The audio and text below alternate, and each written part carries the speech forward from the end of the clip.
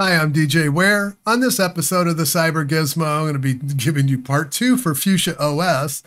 I know it's been almost, what, 11 months since I did the initial video on Fuchsia. But I felt like uh, there was a couple of things that when I was playing around with the build and so forth, the, the environment wasn't ready. I mean, I there was I would get it to work one time and then not the next, and then there would be stuff that would work and stuff that wouldn't. It wouldn't connect to the server. So yeah, so I, I just needed time to figure it out, and I just kind of shelved it for a while. But then y'all started asking about where where is this thing? where is part two in December? So I owe you that, and that's what this is all about. Hope you enjoy this. We're gonna do uh, we're gonna do an install. We're gonna configure Fuchsia. We're gonna compile it from source, and then we're gonna kick the tires on a few things. I'm not gonna go too deep into it because uh, the exploring Fuchsia at this point with the build that you have uh, is mostly meant for developers. So if you want to write code for it, then uh, I would suggest go out and, and go through the Explore Fuchsia tutorials on your own. So, all right, let's get started.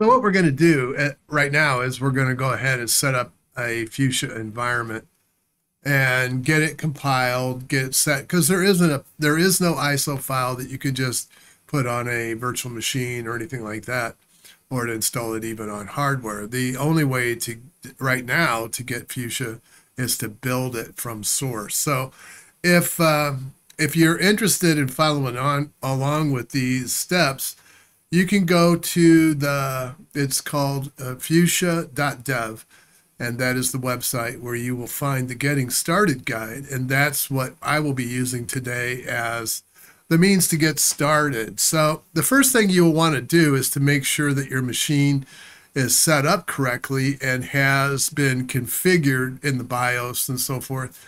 And also, you have KVM ins- installed and QEMU installed in order to be able to to bring up an, a uh, viable environment. So the first thing we're going to do is we're going to check that, and you do that by executing a, and you'll need curl for this, and it's going to go out to storage Google APIs, Fuchsia FFX, and then it will do a pre a pre uh, a pre flight on the platform. So, okay, so let's take a look and see what we got.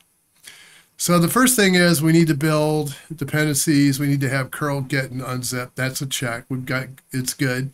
This one said it did not find a tested and supported graphics acceleration card. Now, this machine, as you can see, has an RTX 3070, and that is not supported by Fuchsia. However, that will not start, stop us from doing a command line environment or being able to experiment with it that way. It just prevents, it will prevent Flutter from coming up correctly. So this one down here, though, we do have to take care of, and you can see that it, it did not find a TunTap device called QEMU, and we can we can verify that. And yeah, I, I do have a number of interfaces on this box. There's a Docker, and then the this particular bridge is for Docker, so that has that ties back up to this. So that has nothing to do with the Fuchsia environment. So you'll notice that there was a couple of commands that we could run. So let's go ahead and do that. This is setting up a uh, a, uh, a tunnel and a tap uh, that allows me to connect with QEMU. So we'll go ahead and do that. And then the next part is we need to bring the link up. Now it's not actually going to show up until we get it connected. So, but there is my there is my QEMU, and you can see that it is not up. It is up as far as this is concerned, but there's no carrier associated with it. So that's all good, uh, and so we can go on to the next step. Uh, well, let's rerun the pre-flight again just to make sure that everything is good now. So yeah, now we found the TunTap device. KVM is enabled. And if you'll get this one will say that it is not found if you do not have the virtual machine, uh, the ability to establish virtual machines in your BIOS set. So, yeah. And we also have an SSH directory, so we're good to go. The next thing they would tell you to do is to install curl, git, and unzip. But as you can see, those are already here, so I don't need to do that. But you may, you may. And by the way, these there are steps for Linux and Mac OS. So if you're looking for Windows support, um, I don't believe this is supported under Windows. So the next thing we'll need to do is we'll need to download the source code. So let me just see. I don't have a Fuchsia, and I have some shell scripts here, but I don't have a directory called Fuchsia. So we'll go ahead and let me clear this up. And th this is going to go out and it's going to pull uh, a script and then it's going to pipe it to bash. If you're concerned about it, you could just pipe it to more and see what it's doing if you're concerned about it. But I've run it enough times. I'm not all that worried about it. It's, it's all it's going to do is pull the uh, latest build and put it and create a directory called Fuchsia and then start installing all the components. This will take some time. It, Fuchsia is about 10 million lines of code or something like that. So it's quite large. And we'll do a we'll do a source code count on it. Oh, one thing I will tell you is once it starts, you'll see it, it starts to display this opt-in message or opt-out. These collect analytics so if you're concerned about, they could they show you here if you're interested in seeing what they actually collect. But if you're really concerned about the analytics, you can turn them off right there. All they're doing is they're tracking what's going on with the uh, logs that are coming out of Fuchsia. It helps them debug the project. So, yeah, so they are using you to collect data for them uh, to help make the project go a little bit better. So, so it's done, and I made the screen a little bit bigger, so hopefully you, you will be able to follow along a little easier. So, so the next thing it says I need to do is export those to that path. So I'm, I've already set mine up, so I'll show you what I did.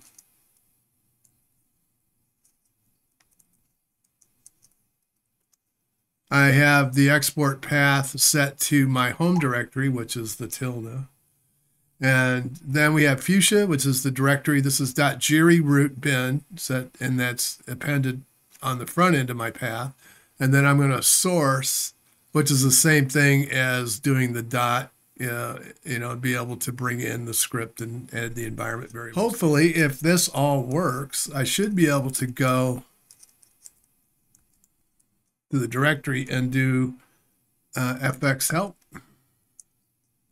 that works? You will have to be in the directory for these to work. Let's just help.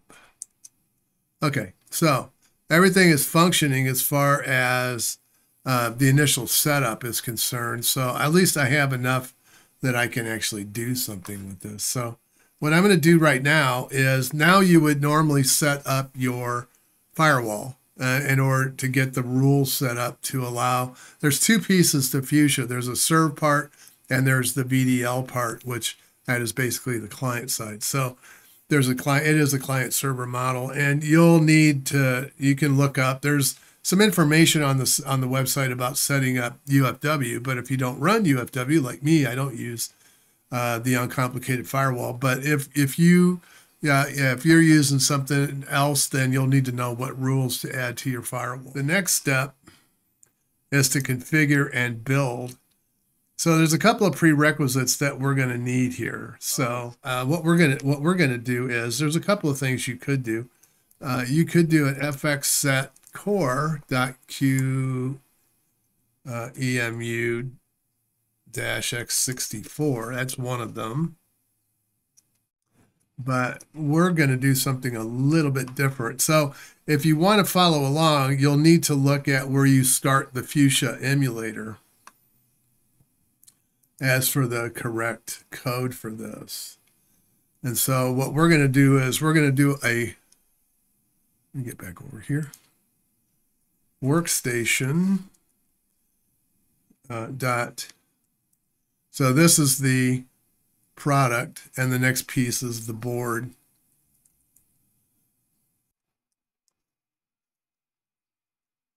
And we're going to do a release level. And this will take a minute to actually do some, it's got to go through and it's making changes to the uh, header files, I assume. Yeah. So now it is, it's all set up and ready for me to start the FX build.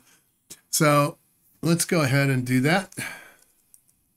And this will take about an hour and 10 minutes. So, okay, so what I need to do now is I'm, I'm all successfully compiled. I'm moving back over onto my Fed machine so that you can see the GUI when it launches. Um, this one has already been installed. Same way, use the workstation to do it. And the first thing you'll want to do is to execute fx serve.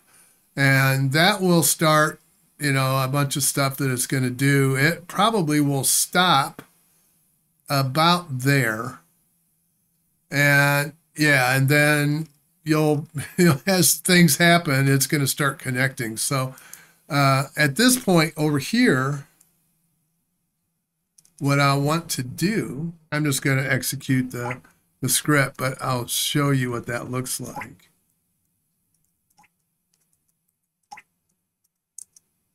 Is that it's going to start this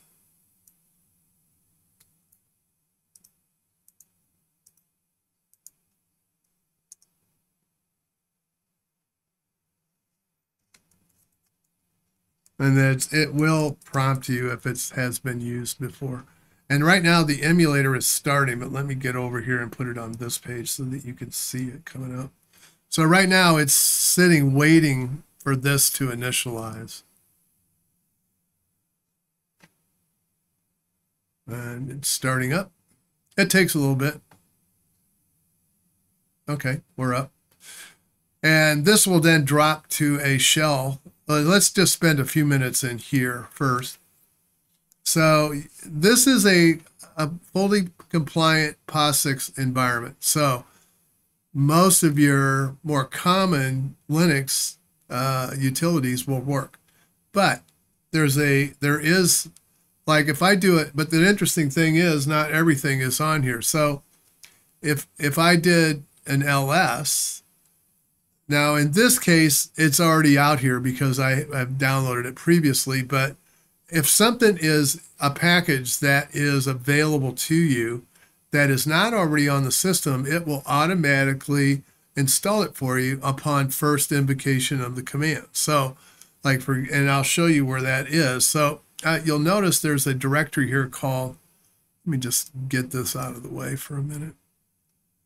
So it's not quite so confusing as to what text is what. So let me go to, let me blow this up a little bit for you. All right, so we'll go to package uh, FS, the, the package file system. And in here, you'll see there's like CTL install needs package. Packages is where we want to go. And in packages, you'll see all these, these are commands. And the one we're looking for is that one because we want to see ls, right? We want to see what happens here. So there's always a zero.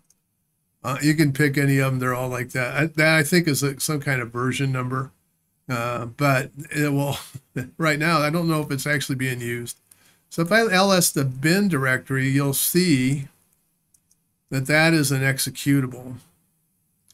So that's a binary. It's, it is actually an ELF binary. And it's interesting that it has January 1st, 1970, which was the date Unix first came online at Bell Labs. So if you're wondering why they picked that date, that's why. Um, lib. And in lib, the commands, as I, I have mentioned previously, are self-contained. So all of the dependencies, all the libraries that are needed by LS and for, for in order for it to run, have its own instantiation, its own copies, and its own versions. So you don't have this problem of of libraries contending uh, with different versions that can cause errors in your system because uh, they're inside of the package. The also you don't have this problem if I uninstall something that I don't lose the dependencies for a different package. So yeah, I mean that could un uninstall C++.so.2 for example. So that could impact other packages on the system that happen to be using that same library. In this case, only the libraries are removed that are in the ls directory, so it's self-contained. How does this work? Well, um, let's go to the meta directory. Let me back up and go to the meta directory. Oops. All right, so in here there is contents, and contents is the, well, yeah, I, I know. I know more's not here, but I have bad habits. So this is the uh, manifest, if you will, for the, the files and the executables and the libraries and everything else that support ls. Says that ls is going to go to the bin directory in the package. The, this is a, a lib so you can see that the manifest has a complete list of everything in it. This is a cryptographic hash that is used to uniquely identify this version of LS. So it does two things. One, it validates that this LS is legitimate and has not been altered. And second, it, it makes sure that uh, that this particular version of LS is not colliding with some other version. So it doesn't you know, doesn't need to replace it, doesn't need to just create a new version for it. I don't know what their intentions are down the road for this, but right now that's basically a signing key. Okay. So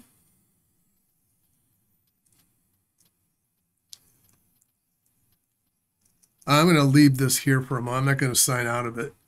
Uh, if I do sign out of this environment, it'll take down the emulator as well. So out here, we have this is um, Flutter. And this is the user interface that, now this is very primitive looking, but I'll just bring up one example here. So I could open a terminal window, which I've already got down here, or I could open up a simple browser or the spinning square, which doesn't appear to work. So we'll go ahead and bring this up. Now, if my service is running, I should be able to actually connect to Google, which is the second part of uh, Fuchsia. It, it does not make direct connection to the internet. It makes connection to the service. The service in turn makes connection to the internet for you. So yeah, and yeah, it, so there is a bit of a delay, I guess, between when it actually is running and not. So um, I'm not going to get too deep into this. If you want to explore it, there is do a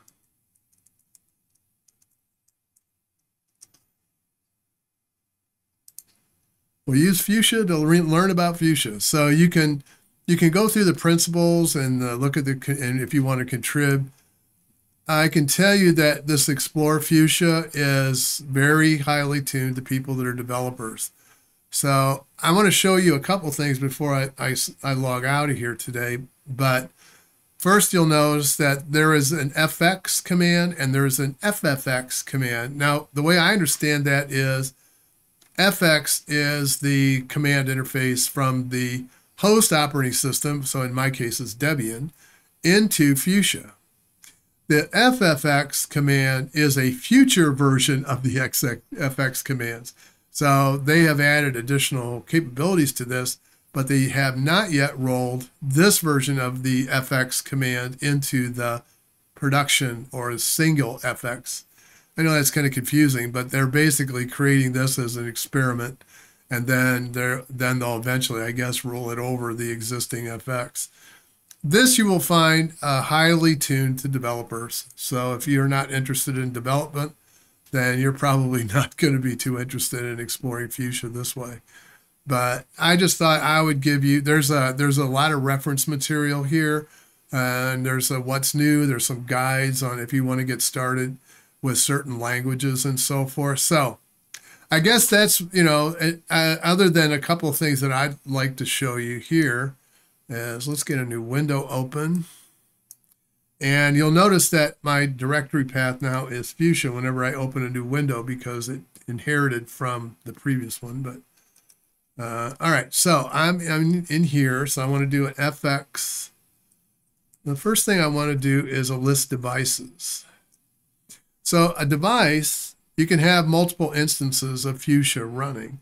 So this is the one, so this particular device is the one I just compiled and it has been associated with an internal IP address of that. So, and then you can, as you can see here, uh, you can set the device so that each time uh, you rerun this, it will automatically pick up this version of Fuchsia if you have multiples out here. Uh, the, so this is again uh, more information about my particular device that's running. Yeah, you have to use the FFX, not the FX, because that command doesn't exist in the. That's what it was saying. I don't know what the hell you're talking about. So yeah, um, and then we can do an FX target show, and this should list all of the ones that I can use.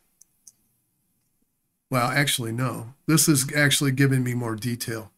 So again, this is my device that I just created. It's telling me what instruction set it is. Uh, it's showing that this is, is this a retail demo? No. And then there's some information here about what it's using. Now, in, in this case, the graphical user interface is actually, I think, being controlled by the internal Intel um, graphics processor not it doesn't like seem to like nvidia so. Yeah so it doesn't seem to like that. It doesn't like nvidia so much. You can also turn on I can turn on log watch. So if I if I'm wanting to see how things are running, in in here if I'm doing development work and I'm starting to post things and I'm interested in how well things are actually being, you know, how, how well things are working and I can re- get my stuff and make sure of all that. So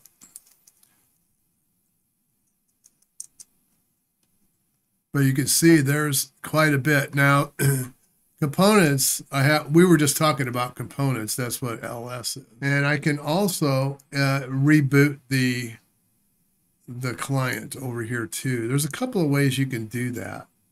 So first you could do a DM command from inside of Fuchsia and you could do a reboot.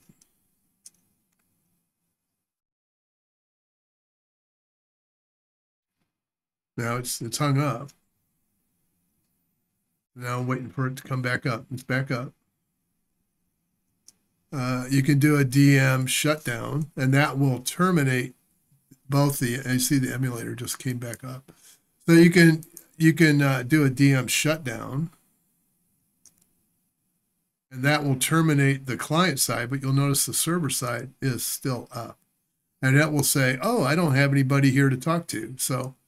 Uh, and that brings down your environment uh, cleanly. If you do a control C, you'll need to clean up this stuff in here because this will interfere with you attempting to run again because there are devices and stuff in there that it won't open. It'll have problems opening again. So anyway, that's all I had. But I'll leave it to you if you uh, if you'd like to explore this a little bit. I just wanted to show you how to get things set up. This would, like I said, it will work under Linux. They prefer a, a, a Debian-based uh, operating system, so either uh, either Debian or Ubuntu. However, uh, I do know some people that are using Arch to do this, but I'm not sure all the pain and suffering you have to go through to actually get it to work under Arch. But I do know some people that are using Arch as the development platform for this. So uh, ARM machines are not supported yet. Um, however, there is there are scripts and and product and board types for ARM64 in here. So apparently somebody's been doing some work on it. Um, I have done testing on AMD with a 3700X that I have, and it it does work. Um, however, because there isn't a on my CPU there isn't an inbuilt uh, APU. I I'm trying it tries to use the NVIDIA one, which it uh, it pretty much cra- it, it pretty much skews the screen. Yeah, it doesn't. It looks like it's missing information uh, in order to draw the screen properly. So, so um, I guess the, the the bottom line here is that you can you can you can bring Fuchsia up. You can it will work. I'm using Debian 11. Uh, I mean, I have I don't have any other environments to test on. I have not tried this on Proxmox. I'm actually running this on hardware. There's a couple of reasons for that. One is I don't want to have the complications of trying to do nested VMs because Fuchsia does require a VM and it does require KVM specifically as well as QEMU in order to run. So uh, the other the other issue I have run into is it does not support NVIDIA. It, it, it doesn't like NVIDIA at all for the drivers. So uh, the only option I have on the AMD machine, since it doesn't have an APU, is to run it with the RTX 3070. So, and that it, it will not display correctly when Flutter comes up. Um, on the Intel-based platforms with the inbuilt uh, uh, GPU for for uh, Intel, it works fine. I do have an NVIDIA card in this machine as well, but it seems to just pretty much ignore it. So, and that works pretty well. Uh, the cautionary things about this pay attention to your temp files. There are some cleanups that you will need to do. So, if you run into issues like I did, where the one time you'll run it, it'll run great. Second time, everything goes to hell in a handbasket.